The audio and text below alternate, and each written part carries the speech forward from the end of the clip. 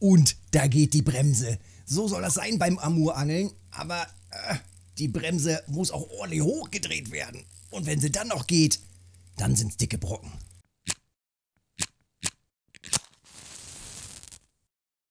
Alter, er hat schon wieder Bock. Ist es denn wahr? Ist es denn wahr? 29er Bremse auf der Tagara, 31 Kilo Vorfach und der Junge zieht ab. Vielleicht ist es auch eine Mutti, kann natürlich auch gut sein. Äh, wer weiß das schon genau? Also, raus mit den Amuren. Wer den letzten Livestream äh, vielleicht verpasst hat, hat genau das äh, hier verpasst, denn das gab es im letzten Livestream zu sehen.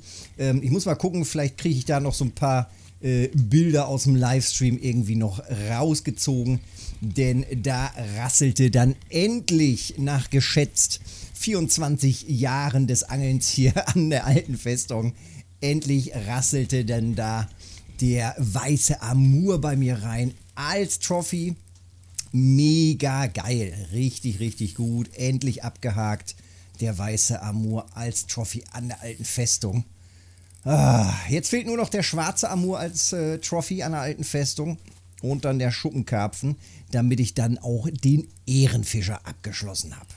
So, der Drill wird jetzt natürlich auch noch ein bisschen dauern. Ah. Ei, ei, ei, ei. Schön was trinken nebenbei. Das ist auf jeden Fall kraftzehrend und sie hauen ab. Jedes Mal das gleiche, also an der Stelle gar nicht so selten, dass sie wirklich hinter die Insel quasi von der Position, wo man steht, hinter die Insel hierhin abhauen. Manchmal links rum, manchmal rechts rum. Und man muss tatsächlich einfach mal im Kreis drumherum laufen. Also um die Insel herum. Und was halt echt mies ist an manchen Stellen, dass man an den Bäumen raufrennt. Also da wirklich drauf aufpassen, wenn man so seitlich rennt, auf einmal rennt man so einem Baum irgendwie so halb rauf. Was das für ein Gimmick sein soll, frage ich mich auch. Dass das überhaupt möglich ist. Kann auf jeden Fall katastrophal enden.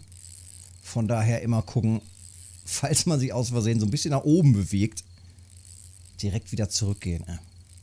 Ja, der hat natürlich jetzt erstmal Bock. Das wird für noch ein bisschen dauern. Wir sehen unten rechts in der Ecke, die Schnur ist äh, schon halb leer. Aber ganz abspulen, das sollte er mich nicht können. Dafür habe ich noch genug Schnur drauf. Und wir pumpen ihn jetzt so langsam ran. Ei, ei, ei, ei, ei. So soll das aber auch sein. Das ist halt der Riesenvorteil, ne? wenn du dann mit dem, doch dann irgendwann mit einem fetten Karpfenset hier stehst, dann hat man eben da nicht mehr ganz so viele Probleme mit. Ähm, so ein Fisch jetzt, wenn man das überlegt, das Teil jetzt hier, vielleicht, vielleicht hast du dir schon äh, die Fortuna Carp gegönnt und hast dann da drauf noch die HSV als Rolle. Da bist du lange mit beschäftigt, ja. Da bist du lange mit beschäftigt. Mitunter eine Viertelstunde. Also Viertelstunde würde ich sagen, locker mal. Vielleicht sogar eher in Richtung halbe Stunde. Je nachdem, wie, wie fett die drauf sind, Ü20 Kilo geht es dann halt richtig ab. So, ranpumpen. Wir gehen natürlich gleich äh, detailliert aufs Set ein und natürlich auch aufs PVA, was ich reinschmeiße. Die Futtermische. Das Ganze kommt von einem Post aus dem russischsprachigen äh, Facebook sozusagen. Aus dem VK. Und ähm, funktioniert wirklich gut zurzeit. Ich hatte, ich hatte vorher, bevor ich das gesehen hatte, an der Stelle schon probiert, allerdings mit anderen Ködern. Ähm, da lief es, tja, ganz eigenartig, so, so 20 Minuten und danach war wirklich schlagartig Ende. So, jetzt muss ich langsam laufen. Wir sind schon bei 20 nach von der Schnur. Jetzt ist er hinter der Insel. Ja, und dann war nach 20 Minuten war auf einmal wirklich wie tot. Also wirklich gar nichts mehr. Und das war schon, schon sehr, sehr eigenartig. Und jetzt hier nochmal getestet, nochmal rumprobiert, nochmal aber auch dann mit dem PVA rumhantiert und äh, es sieht gut aus. Wie gesagt, weiße Amur Trophy, Alter, jetzt hänge ich schon im Baum. Weiße Amur Trophy ist schon drin mit 33. Wenn jetzt noch der schwarze reinrasselt, Alter, das wäre mega. Das wäre richtig gut. Alter, schon wieder im Baum. Siehst du? Kannst du nicht ausdenken mit den Bäumen, ey. Was das für ein Gimmick sein soll. Wer kommt denn auf die Idee, dass man in einem Angelgame auf Bäume klettert? so. Jetzt wieder langsam ranpumpen. Also rechte Maustaste beim Laufen. Und wieder nachkurbeln. Rechte Maustaste und wieder runter. Wir wollen ja nicht die Spannung verlieren. Ne? Das ist immer das, das A und O hier. Gerade bei so einem Monster-Drill. Immer schön Spannung aufrechthalten. Kurbeln, kurbeln, kurbeln. Ich kurbel hier die ganze Zeit mit Shift. Noch ist er dran.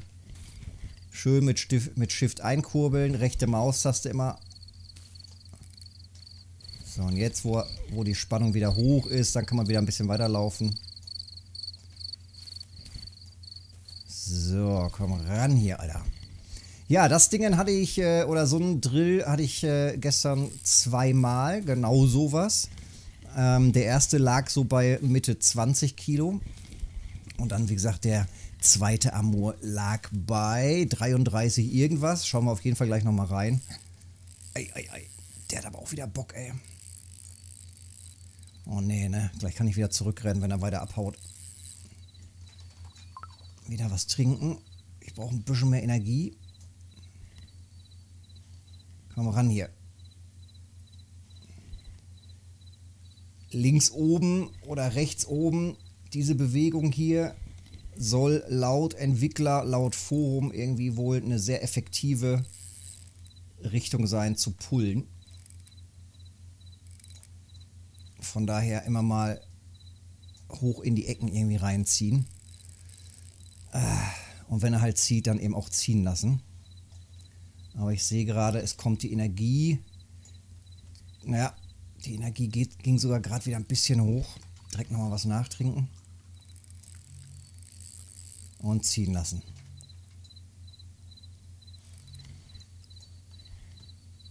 Wahnsinn. Immer wieder krass, wie die Amure abgehen können. Die bestehen quasi nur aus Muskelmasse. Komplett. Komplett wild, die Viecher, ey. So, komm ran hier, Alten. Schön entspannt kurbeln, jawohl. Jawohl. Ja, wie gesagt, mit, mit leichterer Route, leichterem Setup, laufen, laufen, laufen, laufen. An der alten Festung lernt man laufen.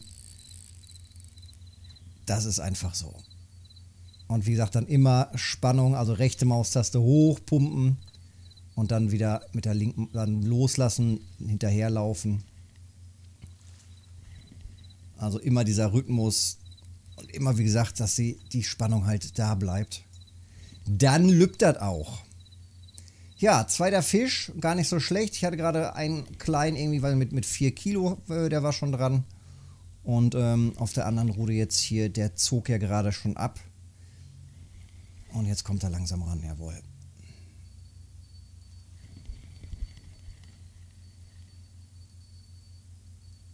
Jawohl. Oh, wow, wow, wow, wow. Ja, ruhig bleiben.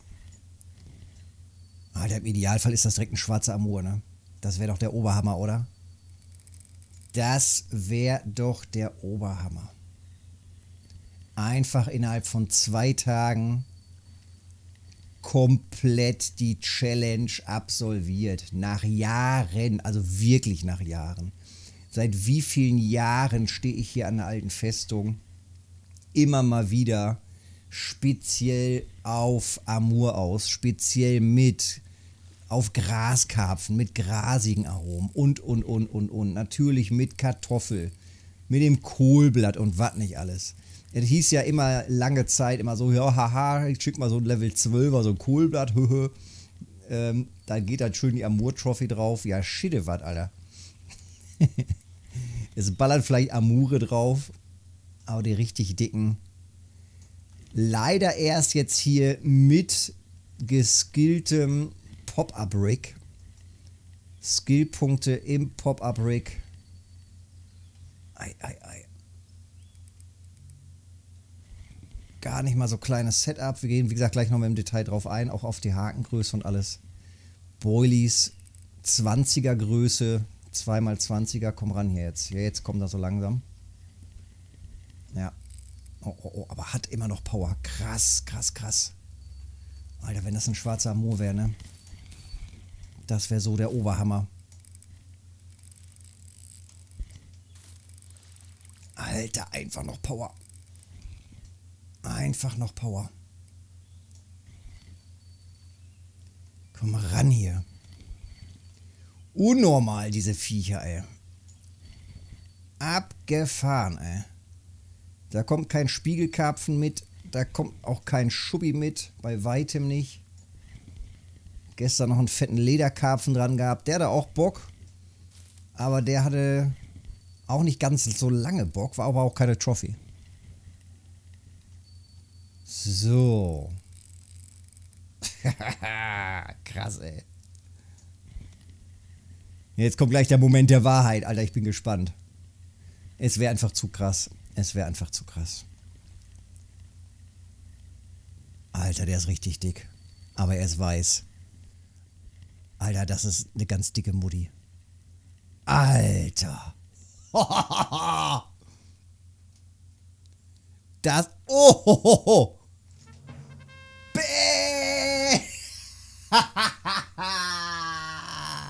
Alter Falter, du kannst es dir nicht ausdenken. Hammer, Hammer, Hammer hart, Alter. Bäm. Nochmal die Trophy. Nochmal die Trophy hinterher. Alter, ohne Scheiß, es ist so befreiend. Endlich weißer Amur als Trophy abgehakt an der alten Festung. Es ist einfach anders wild. Absolut krass. Absolut krass. Und das natürlich auch noch in der Happy Hour schmeckt natürlich ganz besonders gut. Happy Hour Bonus. Wow, Alter. Dicke, fette XP. Richtig schöner Brocken. Boah. Geiles Ding. Richtig, richtig gut, ey. Oh. Erstmal kurz hier in dem Chat. Ei, ei, ei, ei, ei. Ja, krass. Also, wieder auswerfen. Ich bin hier auf 18 äh, Meter geklippt, weil ich ein bisschen weiter hinten stehe. Ähm, wir wollen ja nicht mit den Routen ins Wasser rein, denn da haben wir ja eine Scheuchwirkung, die wir ja nicht extra irgendwie auslösen wollen. Das heißt, wir bleiben schön ein bisschen weiter hinten. Und ähm, dadurch haben wir dann, oder vermeiden wir dann, ja klar, und ein Giebel hinterher. So gehört sich das. Dadurch vermeiden wir dann diese Scheuchwirkung, wenn man zum Beispiel mit den Füßen im Wasser rumrennt oder wenn man mit den Rutenständern auch im Wasser rumsteht. Beides will man nicht.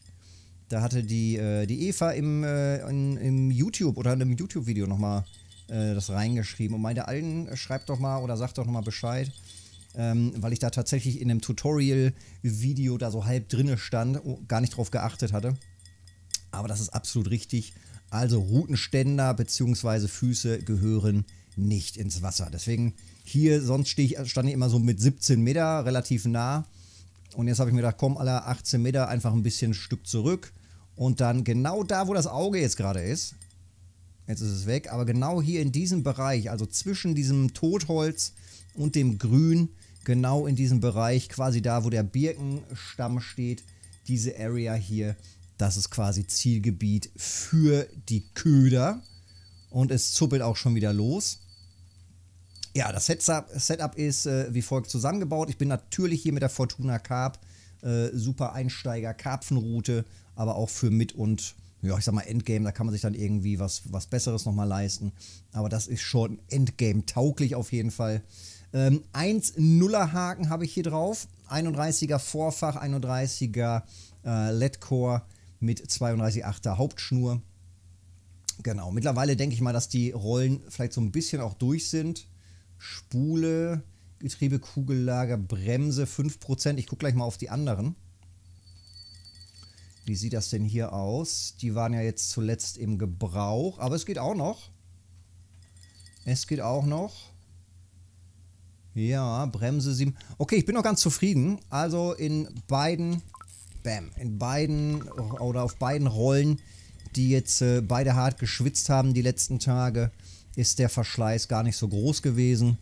Also auch da jetzt beiden, die beiden Amur Trophies haben gar nicht so viel Verschleiß produziert. 13 Kilo. Easy rausgezogen. Sowas schmeckt natürlich. Zack. Und wieder genau dahin. Ja, das passt. Auf 18 Meter. Schön. Zack, der nächste hier. Können wir mal die Bremse ein bisschen runter machen. Nicht, dass da aus Versehen irgendwie was reinballert zu doll. So. Also in Gänze, nicht nur wenn man eine Trophy hat, in Gänze lohnt es sich gerade auch in der Kombination. Ähm, man muss natürlich eine gewisse Frequenz hinkriegen, äh, dadurch, dass man genug Amure dann rauszieht. Aber kohlemäßig ballert das dann natürlich richtig gut rein. Ähm, vom Setup her oder von den Kombis, auch hier jetzt wie gesagt 1-0er Haken. Ähm, Preiselbeer Pop Up 20 mit Himbeer Pop Up 20 in Kombination und dann Preiselbeer und Kräuter. Ähm, ich habe immer überlegt, ob ich nicht noch ein bisschen was Grünlicheres hinkriege, gerade auch für die schwarzen Amure.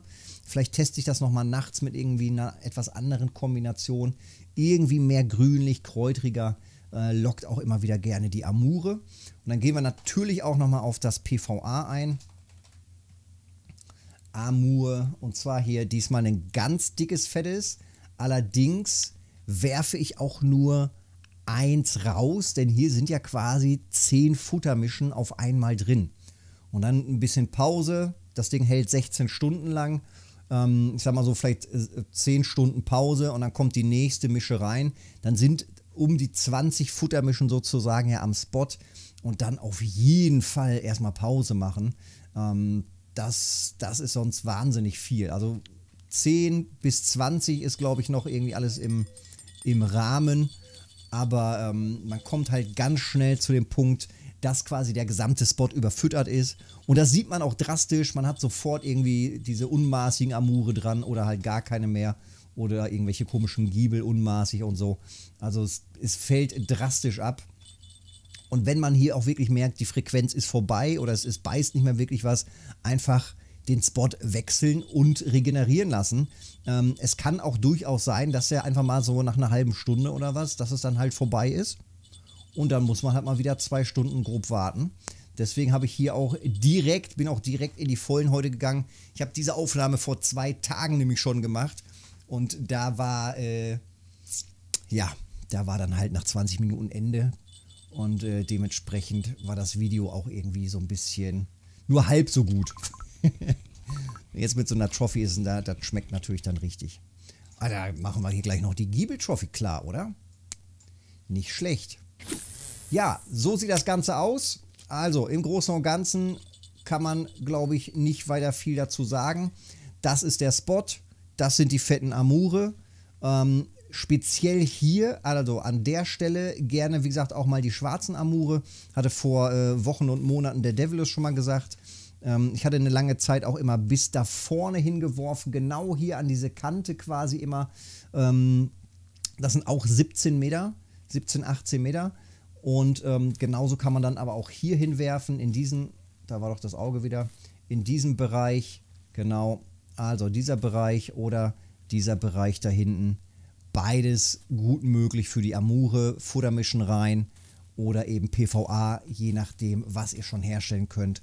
Und dann lübt der Lachs. Wenn das Ganze geholfen hat, gern einen Daumen da lassen fürs Video, den Kanal abonnieren, wenn noch nicht geschehen, das hilft mir wahnsinnig. Vielen Dank dafür. Und dann sehen wir uns in einem der nächsten Videos oder im Livestream auf Twitch, montags, mittwochs und freitags, immer um 19 Uhr. Und ich ziehe jetzt hier noch ein paar Brocken raus. Petri.